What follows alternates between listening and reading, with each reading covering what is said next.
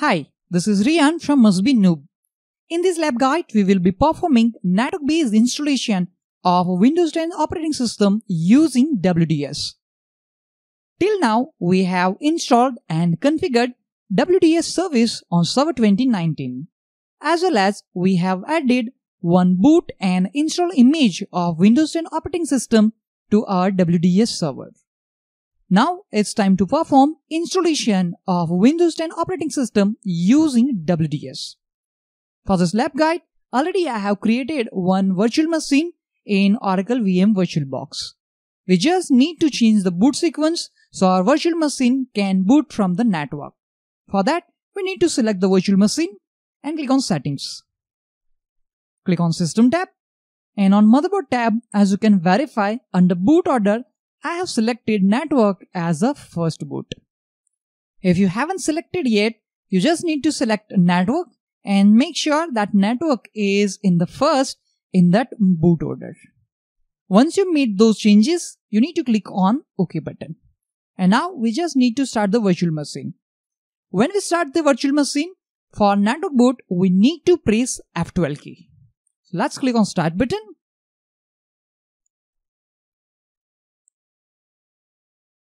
Let's press F12 key for network boot.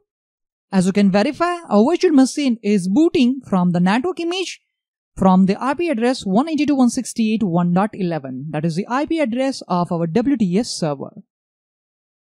Already language is selected, English United States. Let's click on next. Here we need to specify the username and the password credential to connect to our WDS server.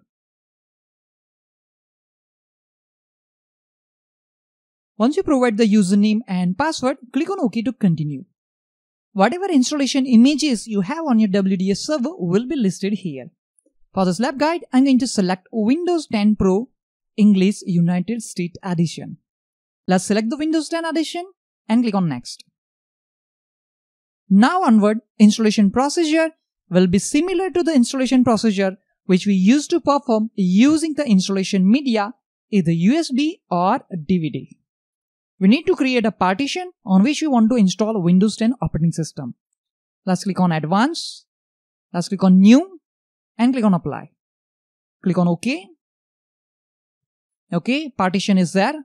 Let's click on Next to start the installation process.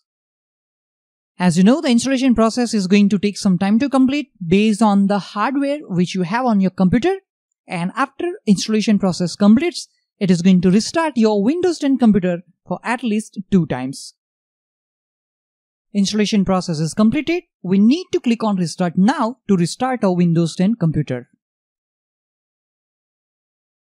This time make sure you don't press F12 key otherwise again it will start booting up using the network.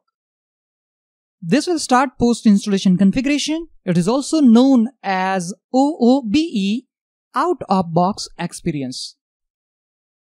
Region is already selected and that is United States. Click on yes. Keyboard layout will be US English. Click on next. Click on skip.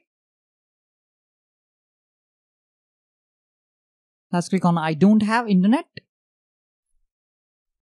Click on continue with a limited setup. Click on accept.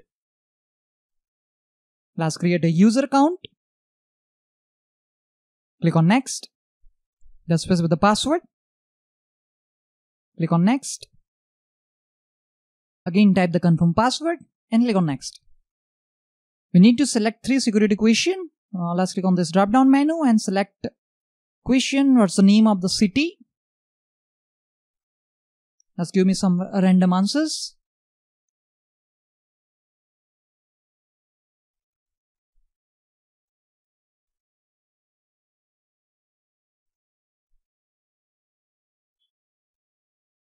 Click on next. Click on yes.